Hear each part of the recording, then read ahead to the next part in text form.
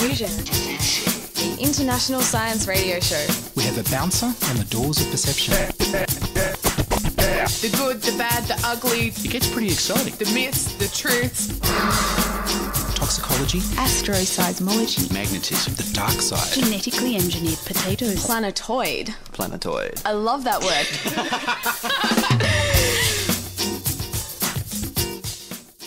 Hello and welcome to Diffusion. Sit back and relax while we transfuse your brain with weird and wonderful science.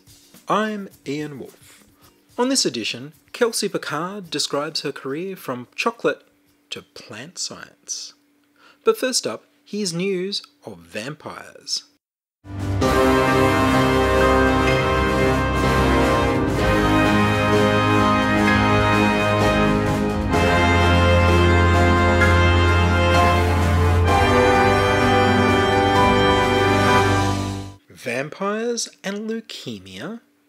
Leukemia is cancer of the body's blood forming tissues, including the bone marrow and the lymphatic system. Researchers from Odense University Hospital and the University of Southern Denmark have examined the descriptions of the victims of vampires in three Gothic vampire novels written in the 19th century. They suspect the writers were inspired by the symptoms of real people suffering from leukemia at the time. The researchers studied The Vampire, written in 1819 by John William Polidori, along with Carmilla, published in 1872 by Irish writer Joseph Sheridan Le Fanu, and of course Bram Stoker's Dracula, published in 1897. The researchers created a data collecting sheet and proceeded to go through the novels line by line to collect the symptoms and how long they lasted in all of the fictional victims. To test their hypothesis, the symptoms described in the novels were compared not only with leukemia but also with other diseases. The Vampire by John William Polidori is the transition of vampires from folk tales into Gothic vampire literature. And there's almost no description of the symptoms of the vampire's victim other than pallor and blood around her mouth and chest after death. In Carmilla by Joseph Sheridan Le Fanu, three young women two of whom are vampire victims, are described with very similar symptoms and progression of disease. The symptoms include persistent exhaustion, fever, pallor, difficulty breathing, and chest pain. At least two of the girls note a red mark on their chest, presumably skin bleeding. The symptoms increased in number and severity throughout the course of the disease, lasting between six weeks and a few months. However, only one woman died after six weeks of illness. In Dracula by Bram Stoker, the first victim, a young woman, Lucy Westenra, has previously suffered from anemia but is now suffering what is described as clearly another disease. Her course starts with malaise, paleness, repeated infections, and increasing fatigue. She develops two persisting red marks on her neck and she quickly deteriorates, with headache and confusion, and even becomes delirious. Lucy is described as bloodless but not anemic by three people, two of whom are doctors. And so she's given four blood transfusions with immediate improvement. Many of the symptoms repeatedly go into remission, only to return after a few days. Lucy died after 42 days of illness. Another young woman, Wilhelmina Murray, and a young man, Jonathan Harker, are described with symptoms mimicking Lucy's. They share the core symptoms of malaise, paleness, fatigue, anorexia, difficulty breathing, and weight loss. The trance like or delirious state in the final stage of Mrs. Murray's course mirrors the cerebral affliction in Lucy's disease. Mrs. Murray's and Mr. Harker's symptoms are, however, only vaguely described and non fatal. The list of symptoms is cumulative over time, with core features of pallor and lethal outcome preserved in all three novels. Additional symptoms also seen in leukemia, malaise, anorexia, fatigue, difficulty breathing, fever, and weight loss are seen in both Carmilla and Dracula. This supports the idea that the symptoms were caused by the same underlying disease. The number and complexity of symptoms increase from the earliest to the latest novels, with the greatest increment from nearly no symptoms in The Vampire in 1819 to the elaborate descriptions in Carmilla in 1872 correlating with the advances in medical knowledge at the time. the description of Lucy Westenra's symptoms in Dracula in 1897 mirrors a textbook description of symptoms among patients with acute leukemia. The authors compared the victim's symptoms with other 19th century diseases to see how well they matched. They found that the victim's symptoms didn't match well with diphtheria due to a lack of coughing, pellagra because the victims were well nourished, anemia because the victim was described as having already suffered anemia, and that this new illness was quite different. Thrombotic microangiopathy because the victims would have died more quickly, especially after transfusions. Acquired bleeding disorders were ruled out because of the lack of profuse bleeding and the benefit from transfusions. And finally, myelodysplastic syndrome was ruled out because the victims died too quickly. The researchers point out that Bram Stoker's brother was a famous brain surgeon. This gave Bram Stoker access to patients' medical histories and discussion with his brother about medical information in his novel. The descriptions of Lucy's cerebral symptoms matches those seen in people suffering untreated acute lymphoblastic leukemia. Patients suffering acute lymphoblastic leukemia would have been brought to the attention of Bram Stoker's brother Sir William Thornley Stoker and possibly into his care. The authors conclude that victims in Gothic vampire novels from the 19th century could very likely be inspired by real life acute leukemia patients. Except for the bite marks on the neck. The paper was titled Malignant but Not Maleficent Acute Leukemia as a Possible Explanation of Disease and Death in Vampire Victims, and was published in the Irish Journal of Medical Science.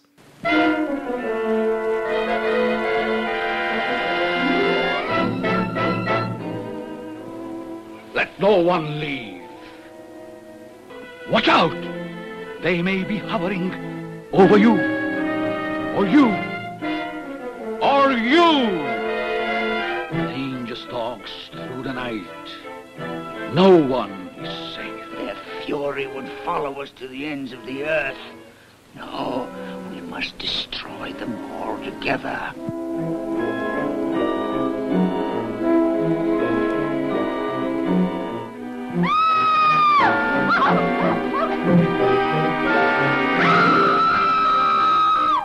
Scourge of mankind, they shall be found.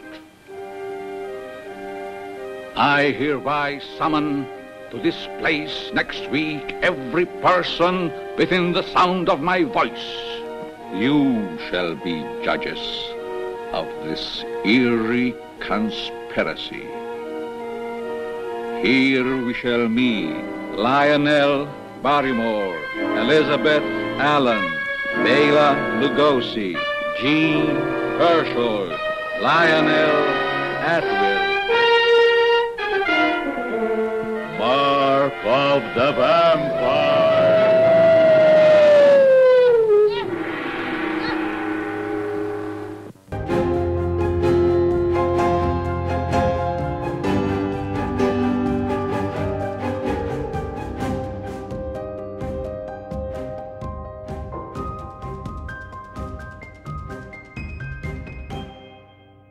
You're listening to Ian Woolf on Diffusion Science Radio.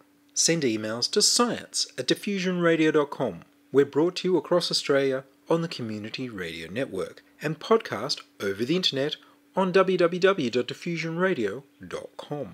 From chocolate to botany, Kelsey Picard is a plant scientist and geneticist doing her PhD at the University of Tasmania. She's also a science communicator, involved in many projects, and a co host with other women of STEM science, technology, engineering, and maths of the podcast That's What I Call Science. We spoke by Zoom, and I began by asking Kelsey Are you a botanist or a horticultural scientist? Well, I probably identify more as a botanist. I'm very interested in horticulture, but I don't have a background in the application to agriculture. So my training was more pure botany, so identifying plants, but actually more genetics and biochemistry, so what's happening inside of the plants. And how did you come to choose botany? It was actually just luck. to be honest. When I finished high school, I really didn't think I wanted to go to university. Really intimidated me. I was the first in my family to go to university. So I didn't have any role models that I could sort of ask about the experience. But when I left high school, I was working at a chocolate factory, which sounds like the dream job, and it was for a while, but I really missed learning. Um, I got really bored of the same thing every day. So I went to university halfway through my first year, and that meant that I had limited selection of what subjects I could take because I was starting halfway through. And one of the subjects I could take was botany. Now, I took it because I didn't have very many options, and I really didn't think I would enjoy that subject. Uh, I thought it was going to be boring. I only wanted to study animals and humans, but it completely changed my whole path of science. It was the best subject I'd ever taken. It opened my eyes to the whole amazing world of plants and um, how complicated and interesting they are. So, yeah, it, that's how I ended up studying botany. And what's your favourite part of it, do you think? What is it? Is it, you were talking about the complexity and the fascination. What is it that draws you into the plant world? Well, I don't even know where to start. I guess there are so many things I find so fascinating about plants. I guess the fact that they've evolved to live off of just sunlight and water, like that's incredible. We wouldn't be on Earth if it wasn't for plants. We wouldn't be able to breathe the oxygen that we need. They have to withstand whatever environments they are existing in. So they can't just get up and walk away if the climate is changing and or you know they don't have a food source there or they're um, shaded by another plant so the fact that they can adapt so well and quickly to their environment, I find really fascinating. The way they reproduce is something I'm particularly interested in. I so I study flowering. I'm very interested in how we get all of our food from plants as well. So yeah, I, I mean I could go on forever about why I love plants. and where does your research focus at the moment? My research focuses on flowering timing of legumes. So I'm looking at what controls flowering in legumes, um, and particularly what makes a plant stop flowering. So, what's the process going on in the plants there? Do you get some that flower all year long, or do they have a favourite season? So, plants usually uh, flower at a certain time of year. That time can vary between plants depending on what sort of pollinator species they might be after to come and visit their flowers or what environmental conditions they're measuring to determine when to flower. So plants are constantly measuring the environment around them. They're measuring temperature, rainfall, daylight is a, a big indicator. And so they're constantly reading the environment around them to decide when the optimum time to flower is. Because I've seen there's, well, I have an interest in, in fruit trees and carnivorous plants and things myself as well. And sometimes when you're looking at them online, the sales, they talk about ever bearing ones as opposed to ones that only flower in spring or summer or winter? Ever bearing. Yeah, perhaps they have been bred in a way that they don't have as strong flowering signal requirements, so that they don't need, for example, a frost before spring to trigger flowering. That might have been bred out of them. That's exactly the kind of thing that we're researching. What do the plants need in, in order to decide to flower, and what genes are controlling that process? So once we have a better understanding about that, for example, with legumes that we're studying, we can then target those genes for breeding programs and try and get plants that are going to produce food for longer periods or even all year round potentially. I mean, that's one of the things. A lot of our crops are just annuals, aren't they? Yeah, a lot of them are annuals. Yeah, there's a few reasons we would use an annual over a perennial in crop plants. So perennial is when you'll get repetitive growth year after year. An annual will usually only live one year, maybe two, and have one reproductive phase. Most of our crop plants are annuals because we like to harvest them all in one go. Um, if you think of big commercial crop farming, so wheat or many, many grains, we run huge combine harvesters basically over these crops once they're finished, and so we can collect all the seed in a big batch. If we're talking about perennials or plants that live for longer periods, like apple trees, that requires more hands on harvesting, which isn't probably as suited to our mass production that us humans need now, nowadays. Yeah. So the, the perennials are really only good for people growing food for themselves. Yeah, but there's a lot of interest in using perennials in crop production as well because they require a lot less um, input and uh, maintenance. If you're able to grow a plant for many years and still get production from them, um, you're going to get less disturbance in the soil. It's better for the general ecology in the field. So people are still interested in turning or converting annual type crops to perennial type crops yeah, there's variation within different plant families, so that's definitely a research topic as well. But yeah, at home, I guess it's it's convenient when you're growing in your veggie garden to not have to keep sowing things year to year. I know that you know, for example, strawberries you can leave them in the ground and they'll come back the next year, and that's quite convenient. Yeah. So for listeners who've they've obviously well, everyone's seen flowers, but not everyone knows how they work. We know bees come and pollinate them but what's actually what are the pollinators doing? Yeah, um, so plants produce flowers as a way of reproducing. Basically, a plant will decide to flower when it is basically decided that it's the end of its life, or for an annual especially. It's spent a bunch of time photosynthesizing, gaining energy from the sun, and it's ready to put all of those energy reserves into a flower and produce seeds.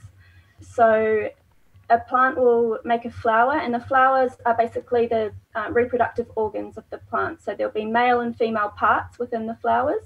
Sometimes the male and female parts are on separate flowers or even on completely separate plants, depends on the species.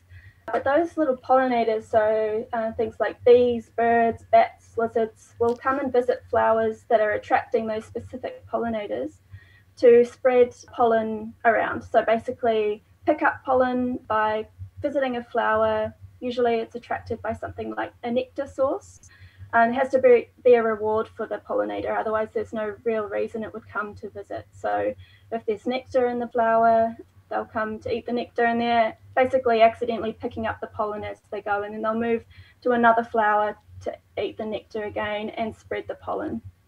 And does your love of plants go outside the lab?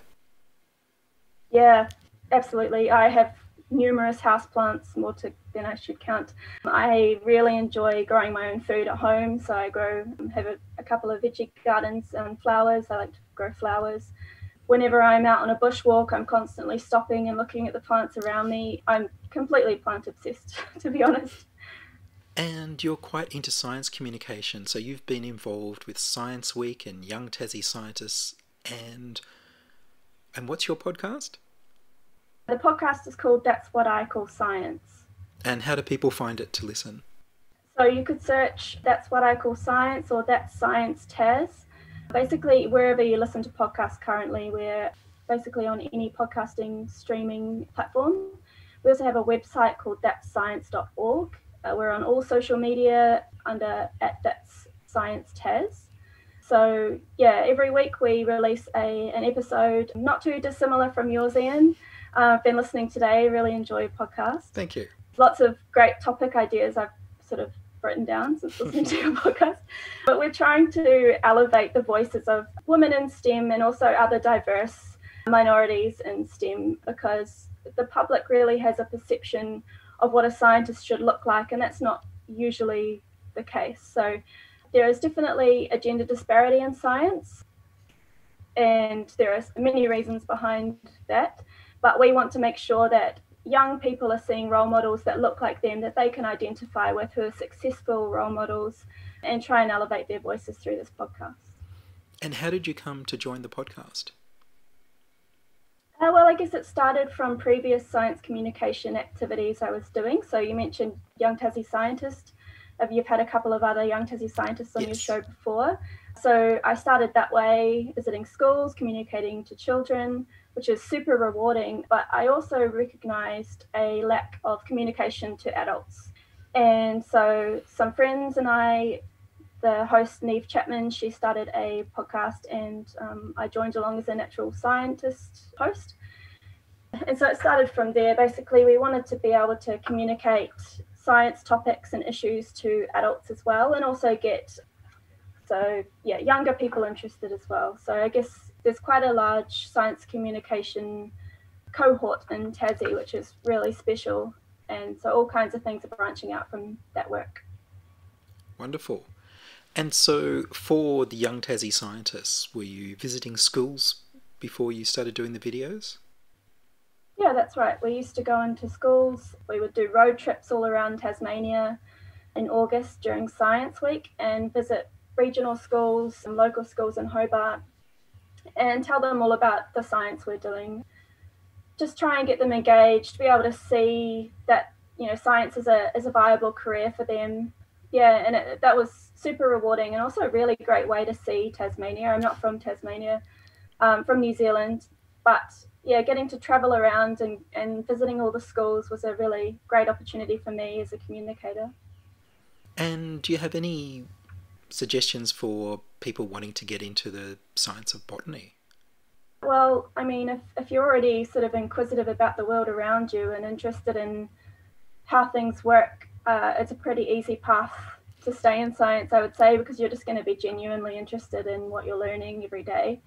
I mean, at high school, I, I never knew that I would end up doing a PhD in plant science. I didn't really enjoy school very much. Science was my best subject, mostly because I was just the most interested in it. So I was willing to sort of engage with the content, and then by accident, I guess I did better in those subjects. But yeah, I guess something that I would like younger people to realize is that even though you don't maybe don't know what you want to do when you're young, you'll figure it out along the way. And I think there's a lot of pressure on young people to sort of know very early on what they want to do, and then it feels very scary to then be making those decisions about which subjects to choose and whether to go to university or not. But if you're genuinely an, an inquisitive person and interested in the natural world around you, you'll be drawn to science, and it, it should all really work out that way. And I guess people who have gardens at home can sort of make more scientific observations, maybe even experiments with the plants in the garden. Yeah, uh, people can do science every day. Basically, you don't have to be a scientist to be a scientist. You, you know, if you're growing food at home, you're doing your own science experiments. You might realize the potatoes don't grow in one spot as well as they did last year in a different spot. So, you learn from that, and then you change the method next year. You know, yeah, or you, you notice a pest has arrived and it's on your plant, so you have to figure out how do you get rid of that pest and what are the consequences of getting rid of it. And yeah, gardening has is just full of science. Yeah, and I, I think people don't really consider that they probably think that scientists are smart and there's almost like this elitist view of scientists, but it's really just people are constantly doing science in their everyday life. It's it's not something that you have to go to university to do. Yeah. Would you have any final words for the audience? Well, I guess if you're interested in hearing about other cool science that's happening in Tassie, you can check out Young Tassie Scientists. That's what I call Science Podcast. I'm also involved in a Science of Beer blog so a friend and I are interested in, well, are big fans of beer. We're also really interested in how beer is made. So we've got another science communication branch, which is called Science Made Bearable, B-E-E-R-A-able. Yeah, so yeah, check them out. Awesome. Well, Kelsey, thank you very much. Thanks. That was Kelsey Picard, PhD student from the University of Tasmania, talking about plant science. You can see the video of this interview and many others with James Hayes about odour, Ian Bryce about masks, Bonnie, Kirsten and Martin about the search for life on Mars, Sylvia Vicenzi about brain development, Dipon Sarkar about food microbiology, Liam Burt about synthetic chemistry, and Amy Edwards on the science of cuddling animals. On the Diffusion YouTube channel, subscribe and like at youtube.com slash c slash diffusionradio. Thank you, Mr. Speaker. This is coal. Don't be afraid. The Don't be scared. Won't the treasurer you. knows the rule on crops. It's coal. There's no word for coalophobia officially, Mr. Speaker, but that's the malady that afflicts those opposite. Coal being an important part of our sustainable and more certain energy uh, future. And that's all from us this week on Diffusion. Are you a scientist, artist, biohacker, or maker who'd like to be interviewed about your work? Would your company like to sponsor Diffusion? Send your contributions, opinions, helpful suggestions, and donations to science at diffusionradio.com. That's science at diffusionradio.com. Please like the Diffusion Science Radio page on Facebook and rate the show on iTunes. Tell your friends. Follow me on Twitter at Ian Woolf. The news music was Rhinos theme by Kevin MacLeod of Incompetech.com. I produce Diffusion, which is broadcast around Australia to 28 stations on the Community Radio Network, including Radio Blue Mountains 89.1 FM in New South Wales, 8 Triple C in Alice Springs and Tennant Creek, 2 MVR in Nambucca Valley, 3 MBR in the Mallee Border districts of Victoria and South Australia, City Park Radio 7 LTN in Launceston, Tasmania, and 2XXFM in Canberra. Diffusion is now narrowcast on Indigo FM 88 in northeast Victoria. Diffusion is syndicated globally on the National Science Foundation's Science 360 internet radio station and also on astronomy.fm. Subscribe to the podcast on the Diffusion website www.diffusionradio.com. That's www.diffusionradio.com and check the website for links, photos, and videos about this week's show. If you enjoyed this show, then you can explore more than a thousand previous episodes archived on diffusionradio.com, where the shows are labeled by keywords so you can focus in on the stories you want to hear. Join my patrons at patreon.com slash diffusionradio. Make a donation through paypal.me slash ianwoolf. Support Diffusion by buying from the affiliate links at diffusionradio.com slash support. I'm Ian Woolf. Join us inside your audio device of choice for more science wondering next week on Diffusion Science Radio. Science is fun. It helps you to learn, to know, and to appreciate. When you study science, you may go on field trips. You discover the marvelous interrelationships between all living things. You learn to read the history of the Earth as it is written in rocks and fossils. You find out what makes things tick, everything from a molecule to a living organism. In the study of science is found the most useful and satisfying knowledge of man. Knowledge of his physical world, its past, its present, and its future. And in your moments of relaxation, now and in the years to come, you will find the study of science leading you into fascinating pursuits photography, collecting. Why study science? Study science because you will find in the study of science a richer, more rewarding life.